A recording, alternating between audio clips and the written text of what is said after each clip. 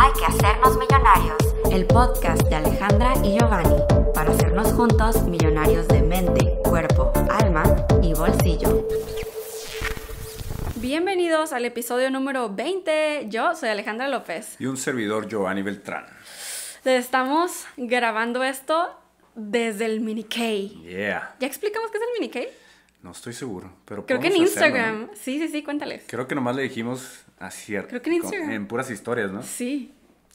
Pues resulta que el mini K es el, el pre, Kingdom. el pre-kingdom. O sea, el, el, Como reino. el como- reinado que vamos Ándale, a tener. reinado. Que a eso le llamamos a nuestra casa, ¿no? o sea, Pero futuramente la- futura la, casa de nuestros sueños es pues un, un reino, es Va a ser como reinado. nuestro castillo, ¿no? No, ándale, nuestro Pero aquí castillo. es como nuestro mini castillo. Por Exacto. eso es mini K, Porque es mini kingdom. kingdom. Uh, Pero estamos muy, muy felices. Sí. Súper agradecidos de que estamos grabando el día de hoy aquí en este lugar, en este hermosísimo lugar. Uh, ya queremos que lo conozcan, así que estén al pendiente de nuestro siguiente blog en el canal porque se va a tratar de toda la historia de cómo lo encontramos, cómo lo conseguimos y cómo el universo pone todo en nuestras manos, Va a literal. estar buenísimo, la neta. Y pues hoy les queremos platicar. Va a ser un poquito diferente este episodio porque Giovanni ya se tiene que ir. Pues hemos estado, esta semana es la semana de mudanza total. La verdad está súper vacío todavía el mini K. Pero de todas maneras queríamos contarles un poco sobre lo que pensamos Giovanni y yo sobre ese tema porque eh, hemos estado hablando de esto últimamente y siempre les queremos es. compartir lo que está fresco en nuestras mentes, ¿no? Entonces, pues la forma en la que hablas dice todo de ti. Y es cierto, eh, hoy no va a haber, antes de entrar al tema, hoy no va a haber recomendaciones en los cinco sentidos ni nada, tal vez dura muy poquito este episodio. Hoy no estamos tomando nada, Hoy tampoco nos estamos tomando nada, les digo, es muy rápido. pero no queríamos dejar pasar el- el- la oportunidad de compartirles esto, ¿no? Exactamente. Entonces, pues adentrémonos eh, en los comentarios, si es que están viendo esto en YouTube, nos dicen si les gusta así como que, que no haya ni intermedios, ni nada, ni, ni la tormenta que se escucha. Esa fue mi tormenta. Pero pues ya, en los comentarios nos dirán, ¿no? Sí. Entonces, yo una vez escuché de Mónica Tapia, nuestra mentora, que muchos de ustedes tal vez ya saben quién es. Si no, ella es la persona, junto con su esposo Iván Tapia, que a mí pues me presentaron lo que es el desarrollo personal hace seis años y medio y con ellos he aprendido muchísimas cosas. Cuando los conocí ellos tenían libertad financiera y en esos seis años los he visto pasar de tener una libertad, ganar buen dinero, a convertirse en multimillonarios. Y hemos estado, Giovanni y yo también siguiendo sus pasos y vamos a seguir, seguirlo siguiendo. vamos a continuar siguiendo sus pasos eh, en el lado de las inversiones y todo lo que ellos están haciendo. La Sí, verdad, de- de los hecho- admiramos mucho. De hecho, yo tengo poco de conocerlos, alrededor de que dos años y medio. Pero cuando los conocí, o sea, ya tenía yo también cierto caminar en el mundo del emprendimiento, en el desarrollo personal. Pero cuando los conocí, conocí un verdadero liderazgo, como algo que tiene congruencia, Sí. que lo que dices, eres y haces también, Sí, ¿no? no son puras palabras. Sí. Y ética de trabajo, ¿no? mucha ética de, tra- de trabajo y es como lo que a nosotros nos gusta, ¿no? Sí. Esa es la forma en que nos gusta trabajar, de que realmente lo que les compartimos o lo que hacemos o lo que somos es porque es real, ¿no? Es Exacto. auténtico. Y no nada más es por hablar y decir algo al aire, ¿no? Sí. Y cuando los conocí, de verdad, mis respetos, me quito el sombrero. Si no han leído el libro de Mr. Iván Tapia, es buenísimo. Ahí está toda su historia, con lujo de detalle. Así que por aquí vamos a andar dejando el, el- el- lo que es el link de- Sí. para que puedan adquirir ese libro. Y también sus canales de YouTube, porque Mónica YouTube tiene uno e Iván tiene e otro. Instagram también. Y bueno, lo que íbamos con esto es que Mónica nos ha enseñado muchísimo. Ella tiene algo, una marca que se llama Mujer de Impacto y da conferencias, ¿no? Alrededor del mundo literal. Y ella constantemente dice en sus eventos de Mujer de Impacto sobre cómo es que a la gente se le olvida fácilmente lo que dijiste, pero nunca se les va a olvidar cómo los hiciste sentir. Totalmente de acuerdo. Entonces, con ella obviamente hemos aprendido tanto desarrollo personal y una parte súper, mega, mega, mega importantísima del desarrollo personal es cómo interactúas con otros seres humanos. O sea, cómo tú hablas, cómo te diriges.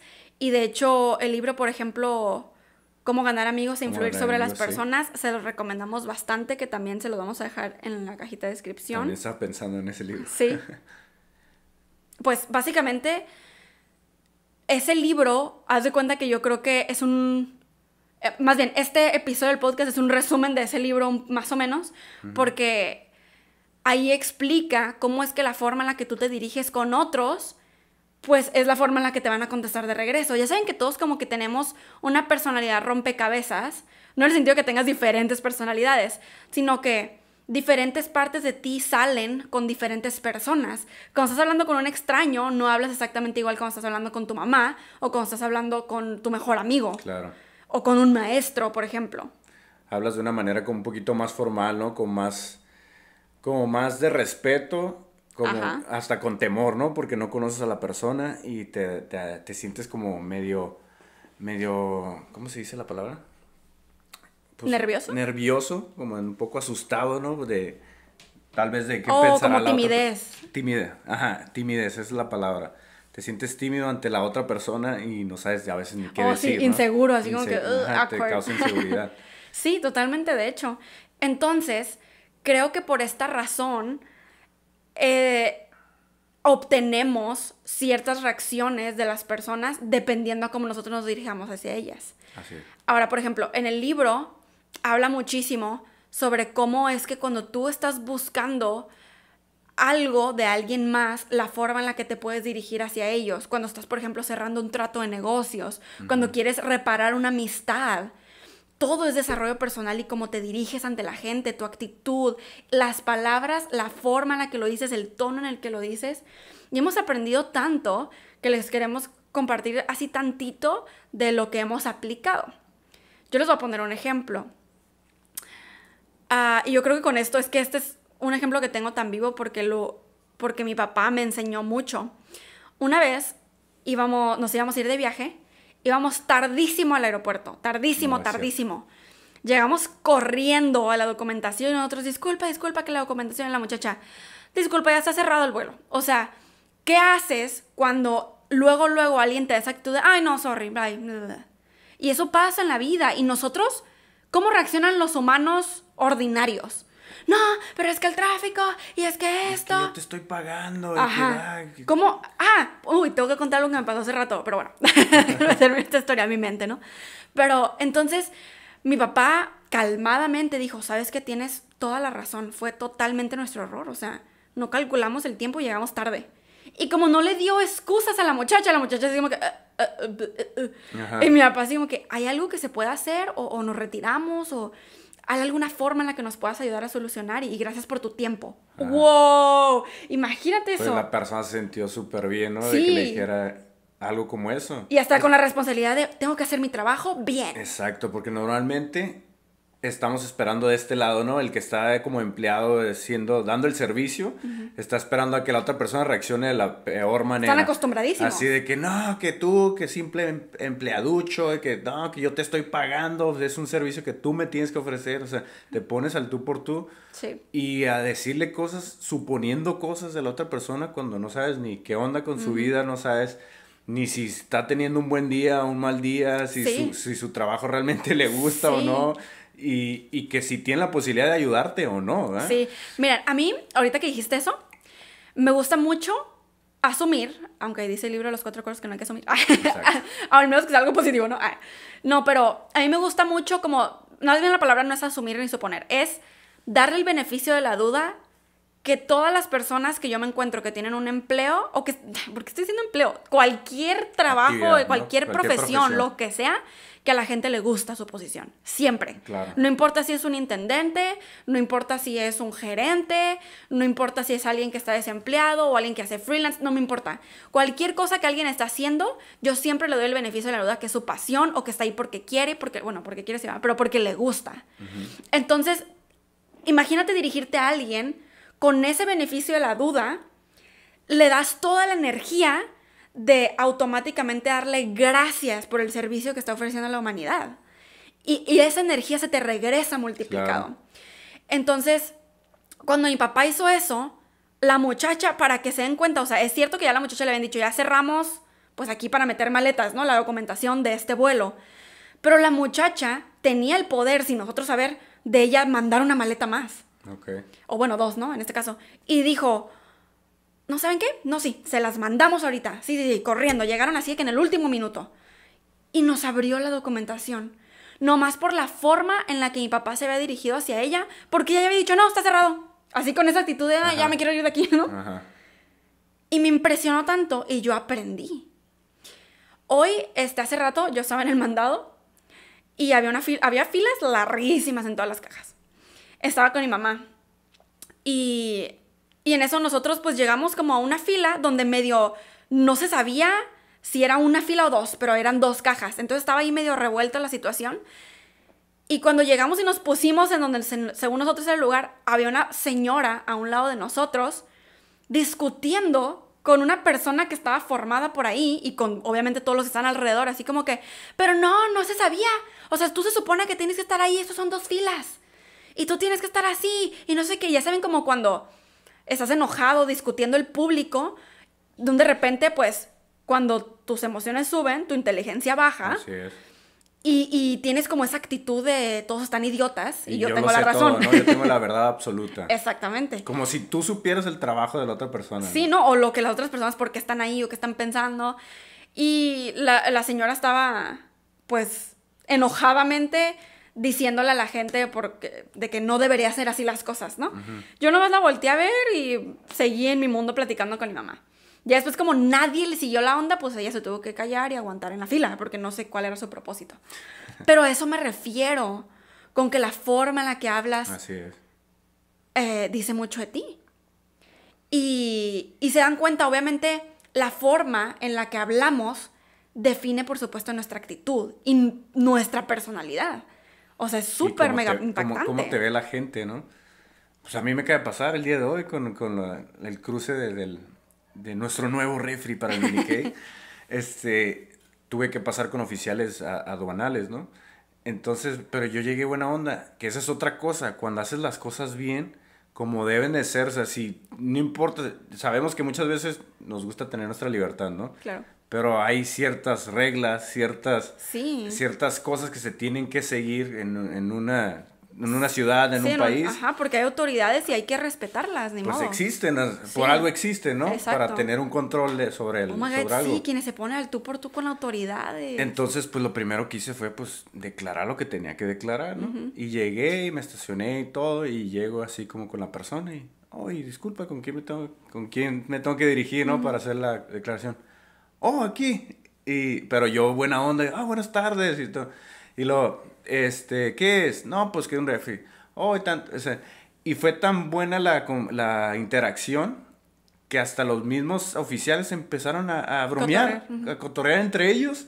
Y al final de cuentas, no me cobraron nada. Ajá. Porque, porque, no porque ellos quisieran, o sea, nomás porque realmente era lo, lo, lo, lo justo, lo válido. Por, Pero a la vez, cuando llega una persona... es, es- Ah, ajá, ok. es a lo que iba, que Sí, cuando, sí. cuando- si yo hubiera llegado como arrogante, ¿no? Que, ay, ¿por qué tengo que venir aquí? ¿Por qué tengo que declarar? Sí. O si yo hubiera querido y, y me hubiera ido directamente a la frontera, me paran y me dicen, oye, no, tuviste que haber ido primero a autodeclarar.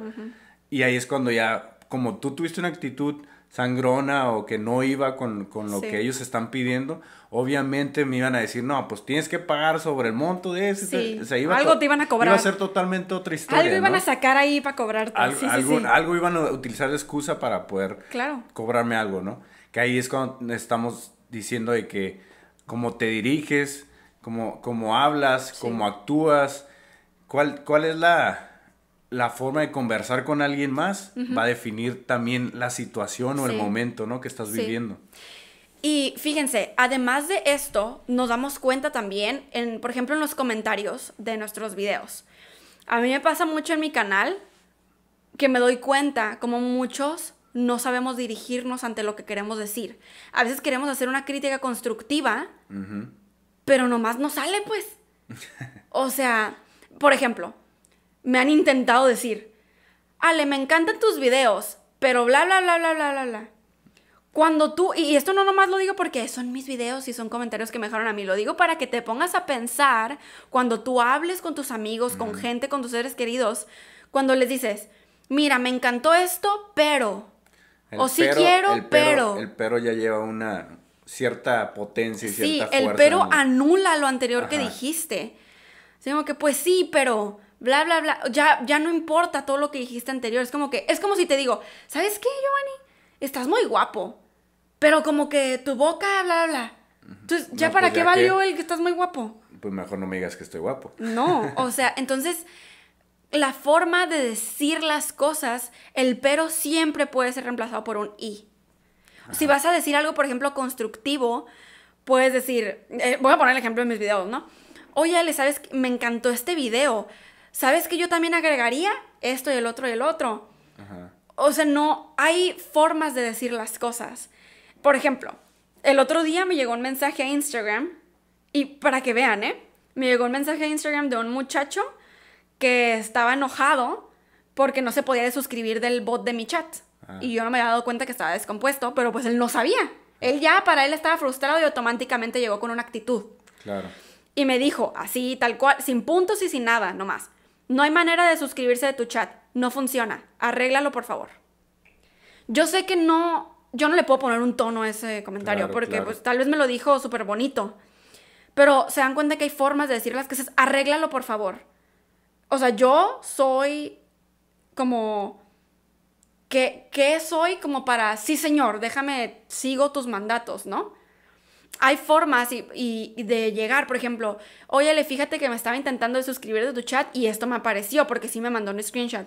¿Hay alguna forma en que lo puedo arreglar? ¿O qué tal si el mío está descompuesto? O sea, hay formas de decir las cosas.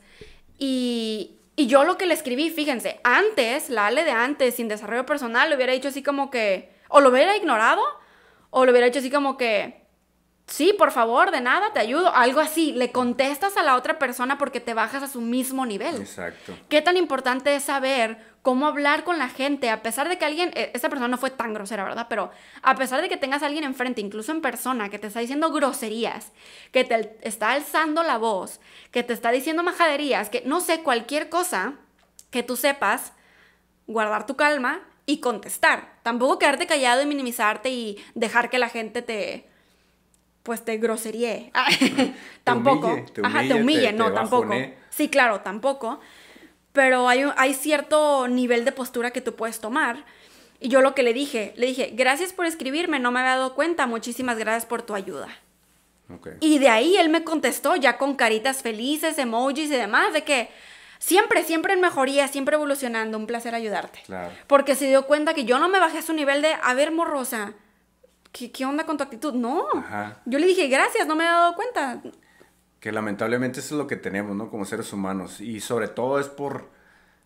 Sí, sí tiene que ver mucho en el desarrollo personal, con las personas que te rodeas, con tu... Con tu con la forma en que creciste, con la, en la cultura en la que te desenvuelves, ¿no? Sí tiene que ver. Entonces, cuando tú ya tienes cierto nivel de desarrollo personal, lo primero que tienes que hacer, y no es humillación, ¿eh? es bajar tu ego y subir tu nivel de humildad.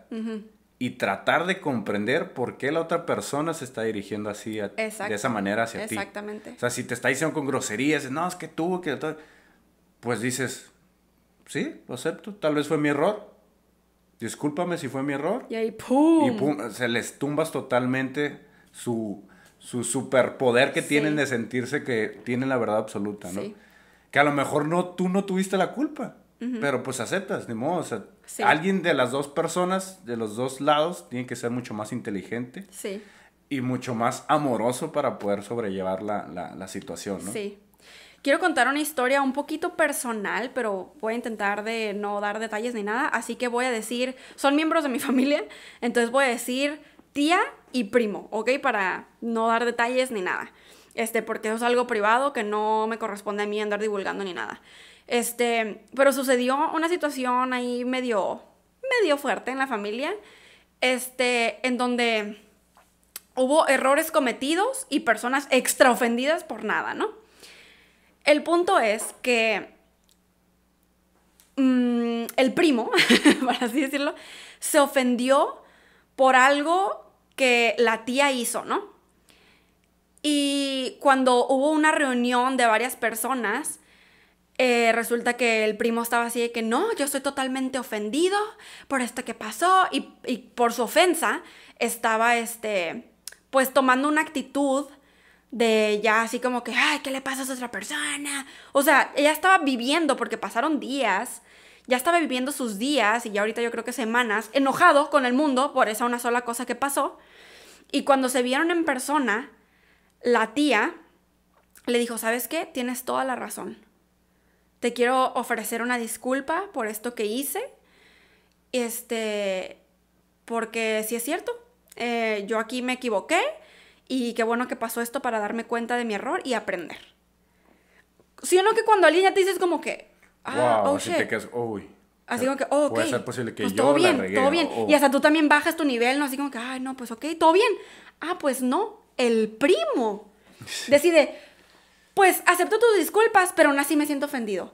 Es lo mismo que voy a decir, acepto tus disculpas, pero, aún así me siento ofendido. Que eso no es aceptar las disculpas, ¿no? A fin de cuentas. A fin de cuentas quedó igual la quiero situación. que sí no pero quiero que vean la importancia de lo que de las palabras de la gente o sea que esa oración porque por supuesto que lo dijo porque como comenté cuando las emociones suben tu inteligencia baja y empiezas a decir pura babosada y media porque creen cuando estamos enojados o demasiado felices y emocionados por algo es mejor no hablar no hacer promesas Exacto. que después no podemos cumplir porque a veces estás tan enojado que tú y aparte eres una pi y sacas los trapitos al aire, ¿no? O, o estás tan emocionado por algo que tú, sí, sí, sí, te voy a comprar esto. Y o sea, ¿sabes? También, también. Porque estás tan emocionado que prometes cosas, pues. Sí. Y es súper importante mantenernos balanceados en ese aspecto. Es como cuando estás borracho, ¿no?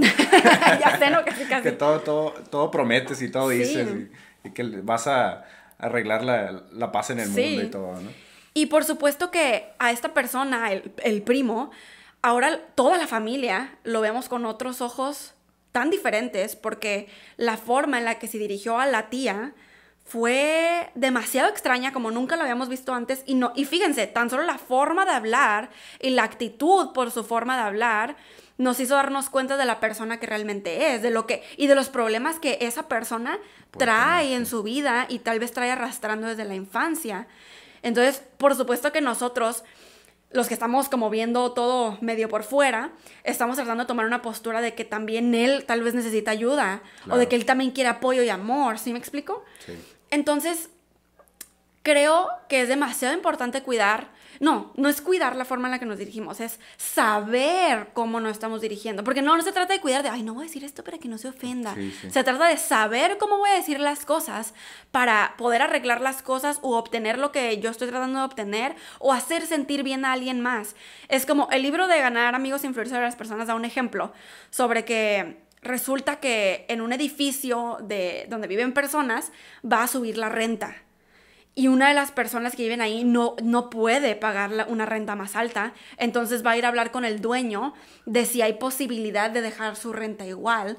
Entonces te explica y te lleva paso a paso de qué es lo que hizo esa persona para dirigirse al dueño, o a quien sea, ¿no? Pero a quien le dijo, dirigirse al dueño y que el dueño le dijera, está bien. O sea, no es nomás llegar y, y preguntar. ¿Por qué no se está subiendo la renta? ¿Y No, exactamente. O sea, ah, no estás en tu derecho. Claro que estás en tu derecho Por porque es, el dueño del lugar, ¿no? Pero, sí, pero, y, y, muy importante. Sí, nosotros, ¿verdad que nos pasa constantemente? Decimos, pero, digo, no, pero, y, ya lo hacemos conscientemente. Sí, sí, sí, claro, porque tenemos que romper paradigmas Exacto. y ciertos, ciertos malos hábitos que tenemos desde pequeños, ¿no? Sí. Porque en lo personal, a mí ahorita me conocen como que, ah, súper buena onda, con una actitud mucho más proactiva, sobre, más alegre. Siempre he sido muy alegre. Pero si tú le preguntas a personas que me conocen desde años atrás, desde mi niñez, mi familia sobre todo, ¿no?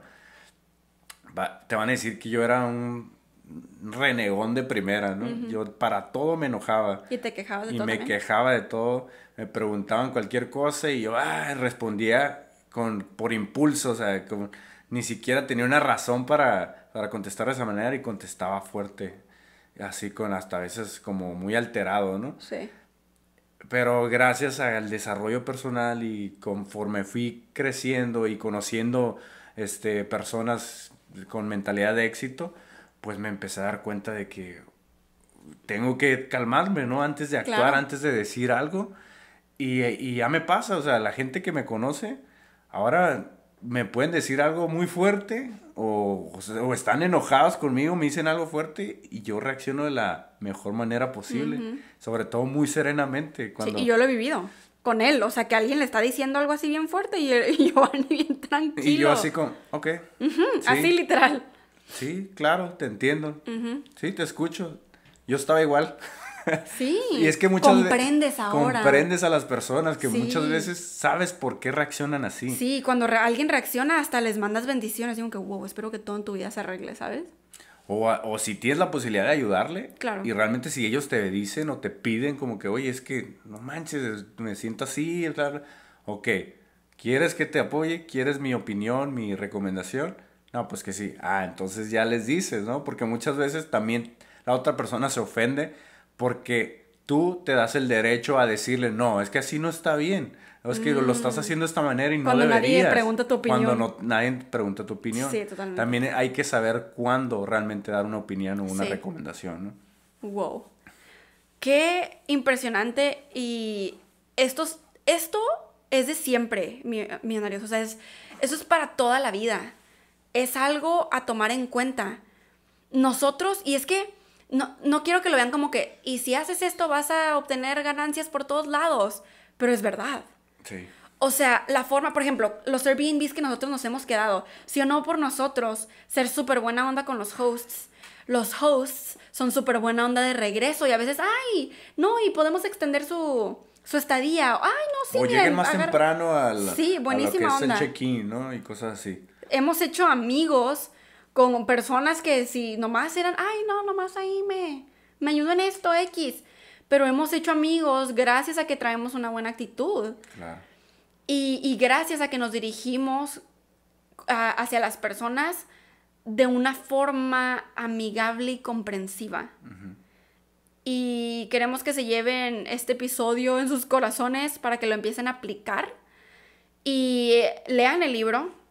Este, pero además o, y además que, se, que empiecen a darse cuenta, así desde hoy, o sea, se, se termina este podcast, empiecen a ver y a escuchar cómo se dirige la gente a su alrededor unas a las otras, la forma en la que hablan y también empiecen a escuchar las historias de la gente a su alrededor.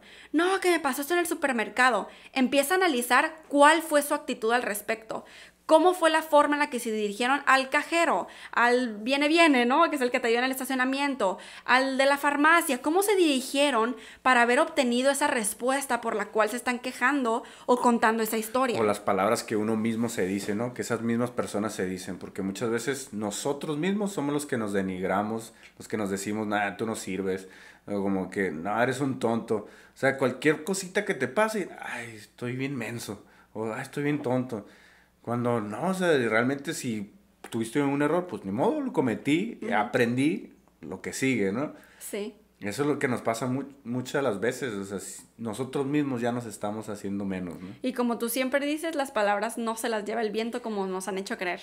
Exacto. Porque las palabras, a pesar de que es cierto, son solo palabras, pero todo depende de la perspectiva. Los humanos hemos decidido darles muchísimo poder a las palabras.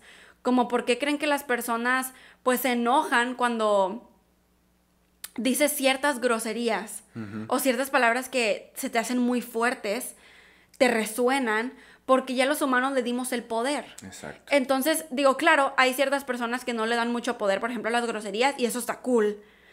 Este, pero si para ti y para la mayoría de los humanos todavía tiene cierto poder ciertas palabras, hay que tenerles respeto y hay que saber usarlas, porque aunque tú no lo tengas, tú ya no, ay, cierta palabra ya no tiene poder para ti, no significa que cuando la digas a otra persona no le va a retumbar o la puede ofender o lo que sea. Claro. Entonces, pues ese es el episodio de hoy. No sabemos cuánto vaya a durar.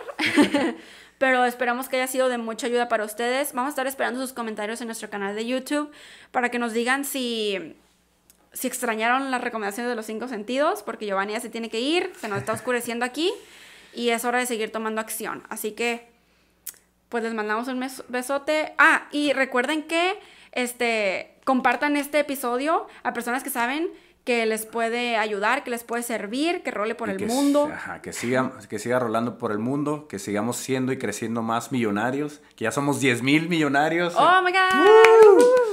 Felicidades a ustedes millonarios por estar en este canal, por seguir estas palabras y gracias por abrirnos su corazón, su mente y sus oídos, porque nos están escuchando el día de hoy. Así es. Y así como dijo Ale, recuerden, esto va mu- mucho con el episodio de que las palabras no se las lleva el viento, las palabras tienen poder y definen tu realidad. Millonarios, nos escuchamos en el siguiente episodio. Bendiciones, y, buenas vibras. Hay que hacernos millonarios. El podcast de Alejandra y Giovanni para hacernos juntos millonarios de mente, cuerpo, alma y bolsillo.